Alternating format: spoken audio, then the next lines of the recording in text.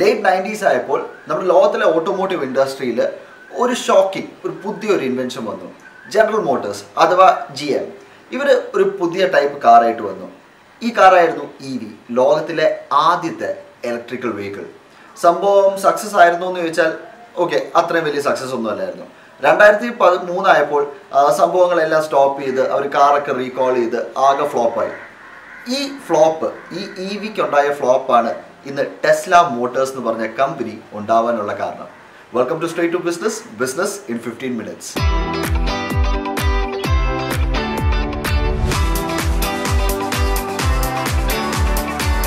G M അവരുടെ electric vehicle pull off ചെയ്തപ്പോഴാണ് അമേരിക്കയിലെ രണ്ട് സയന്റിസ്റ്റുമാർക്ക് ഒരു ആലോചന അവരൊന്ന് ആലോചിച്ചത്. അവർക്ക് ഈ ഇലക്ട്രിക് എനർജി ഉപയോഗിച്ച് ഒരു കാർ കമ്പനി സ്റ്റാർട്ട് ചെയ്യണം. അങ്ങനെയാണ് ഫേസ്റ്റ് ടൈം ടെസ്ല മോട്ടേഴ്സ് എന്ന് പറഞ്ഞ കമ്പനി രൂപീകരിച്ചത്. Yes you are right Elon Musk അല്ല ടെസ്ല എന്ന് പറഞ്ഞ കമ്പനി സ്റ്റാർട്ട് ചെയ്തത്. വേറെ രണ്ട് സയന്റിസ്റ്റ് ആയിരുന്നു. ഇലോൺ മസ്ക് വെറും ഒരു ഇൻവെസ്റ്റർ മാത്രമായിരുന്നു.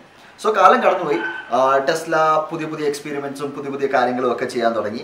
അവരുടെ ഏറ്റവും വലിയ എയിം എന്താണെന്ന് വെച്ചാൽ ലീത്യം അയോൺ ബാറ്ററി അതായത് നമ്മുടെ ഫോണിലൊക്കെ ഉള്ള ബാറ്ററി ഇല്ല. ആ ലീത്യം അയോൺ ബാറ്ററി ഉപയോഗിച്ചിട്ട് ഒരു ഹൈ പെർഫോമൻസ് കാർ ഉണ്ടാക്കാനായിരുന്നു. അങ്ങനെയായിരുന്നു ഫസ്റ്റ് ടൈം എവർ ഒരു ഹൈ പെർഫോമിംഗ് ഇലക്ട്രിക് കാറായ ടെസ്ല റോഡ്സ്റ്റർ മാർക്കറ്റിലോട്ട് വന്നത്. സോ റോഡ്സ്റ്റർ ഉണ്ടാക്കാൻ നേരത്തും ടെസ്ലയ്ക്ക് കുറേ പ്രശ്നങ്ങളും കാര്യങ്ങളൊക്കെ ഉണ്ടായിരുന്നു. കാരണം അവർക്ക് പ്രൊഡക്ഷൻ മാക്സിമം കുറയ്ക്കാൻ വേണ്ടി അല്ലെങ്കിൽ അതിന്റെ പാർട്സും കാര്യങ്ങളൊക്കെ പ്രൊഡക്ഷൻ മാക്സിമം കുറയ്ക്കാൻ വേണ്ടി അവർ ലോട്ടസ് എലിസ് എന്ന് പറഞ്ഞ കമ്പനിയുടെ അവരുടെ ആ കാർ എടുത്തിട്ട് അതിന്റെ ഷാസിയും കാര്യങ്ങളൊക്കെ എടുത്തിട്ട് ഒരു ബാറ്ററി കയറ്റിയായിരുന്നു ഫസ്റ്റ് റോഡ്സ്റ്റർ അവരുണ്ടാക്കിയത് പക്ഷെ പിന്നെയും കാലം കടന്നുപോയി.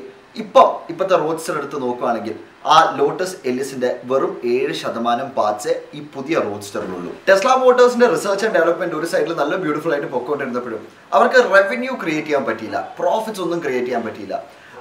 സത്യം പറഞ്ഞാൽ Tesla Motors was on the verge of bankruptcy. അങ്ങനെ ഇരിക്കുന്ന സമയത്താണ് ഒരു ഒക്ടോബർ രണ്ടായിരത്തി എട്ടിൽ ഈലോൺ മസ്ക് ടെസ്ല മോട്ടോഴ്സിന്റെ ഇൻവെസ്റ്ററായ ഈലോൺ മസ്ക് അവരുടെ സിഇഒ ആയിട്ട് ചാർജ് എടുക്കുന്നത്. പുള്ളി കയറിയപ്പോൾ തന്നെ കുറേ പുതിയ പോളിസീസ് ഇൻട്രൊഡ്യൂസ് ചെയ്തു.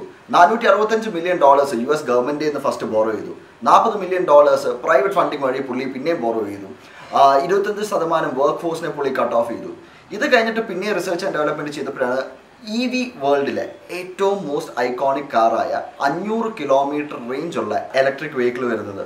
പിന്നെ രണ്ടായിരത്തി പത്തായപ്പോൾ ഫോർഡ് കഴിഞ്ഞിട്ടുള്ള ഫസ്റ്റ് ഓട്ടോമേറ്റീവ് അമേരിക്കൻ കമ്പനിയാണ് Tesla Motors to go public I P O വഴി റേസ് ചെയ്തത് ഇരുന്നൂറ്റി ഇരുപത്തി ആറ് മില്യൺ ഡോളേഴ്സ് എന്തെല്ലാമായാലും ടെസ്ല മോട്ടോഴ്സിന്റെ ഏറ്റവും വലിയ ചാലഞ്ച് എന്താണെന്ന് വെച്ചാൽ ലിത്യം അയോൺ ബാറ്ററി അതായത് അവർ ഉപയോഗിക്കുന്ന ബാറ്ററിയുടെ വില മാക്സിമം കുറയ്ക്കണം. എന്നാലേ ഗ്യാസും പെട്രോളും ഡീസലും ഒക്കെ ഉപയോഗിച്ചുള്ള വണ്ടീനേക്കാളും ചീപ്പറായിട്ട് ലിത്യം അയോൺ ബാറ്ററി ഉപയോഗിച്ച് വണ്ടിക്ക് ട്രാവൽ ചെയ്യാൻ പറ്റത്തുള്ളൂ. സോ ഇതായിരുന്നു ഏറ്റവും വലിയ ചാലഞ്ച് അതിനുവേണ്ടി രണ്ടായിരത്തി പതിമൂന്നിൽ അവർ എന്താ ചെയ്തതെന്ന് വെച്ചാൽ അമേരിക്കയിൽ ടെസ്ല ഗിഗാ ഫാക്ടറി എന്ന് പറഞ്ഞ ഫാക്ടറി ഉണ്ടാക്കി. ഈ ഫാക്ടറിയിൽ എല്ലാം ഓട്ടോമേറ്റഡ് ആണ്. എല്ലാത്തിന്റെയും പ്രൊഡക്ഷൻ കോസ്റ്റ് ഭയങ്കര ലെസ്സാണ് സോ ഇങ്ങനെയൊക്കെ കാരണമാണ് ലിത്യം അയോൺ ബാറ്ററിയുടെ വില ഇപ്പോൾ ലോകത്ത് തന്നെ ഇത്രയും കുറഞ്ഞിരിക്കുന്നത്. വെറും ഏഴ് കൊല്ലം കൊണ്ട് ഐ പി ഒ കഴിഞ്ഞിട്ട് വെറും ഏഴ് കൊല്ലം കൊണ്ട് ആദ്യത്തെ automotive I P O offer ചെയ്ത ഫോണിനേക്കാളും പത്ത് ബില്യൺ ഡോളറിന് മേലിലാണ് ഇന്ന് ടെസ്ല മോട്ടോഴ്സിന്റെ മാർക്കറ്റ് ക്യാപിറ്റലൈസേഷൻ അത് മാത്രമല്ല ടെസ്ലയ്ക്ക് രണ്ട് കീ പ്രിൻസിപ്പിളിനെ ചുറ്റിയാണ് ടെസ്ല എല്ലാ പ്രോസസ്സും ചെയ്യുന്നത്. ഒന്ന് moving to a sustainable energy രണ്ട് ഓട്ടോമേഷൻ ഓഫ് പ്രോസസ്സ് അത് ഈ രണ്ട് കാര്യങ്ങൾ കാരണമാണ് ടെസ്ല ഇന്ന് എവിടെയാണോ അവിടെ അയക്കുന്നത്. ടെസ്ലയുടെ success is directly proportional to their CEO ഇന്ന് നോക്കുകയാണെങ്കിൽ Elon Musk is the world's richest person ഇനി ഞാൻ നേരത്തെ പറഞ്ഞ ഗിഗാ ഫാക്ടറി ഇല്ലേ ഇനി അമേരിക്ക മാത്രമല്ല നമ്മുടെ ഇന്ത്യയിലെ നമ്മുടെ ബാംഗ്ലൂരും ഒരു പുതിയ ടെസ്ലയുടെ ഗിഗാ ഫാക്ടറി അങ്ങോട്ട് സ്റ്റാർട്ട് ചെയ്യുന്നുണ്ട്. ഇത് സ്ട്രേറ്റ് ടു ബിസിനസ് ആണ്. അടിപൊളി കണ്ടന്റുമായിട്ട് ഞങ്ങൾ ഇനി വീണ്ടും വരും. So please like share and subscribe this is Straight to Business Business in fifteen minutes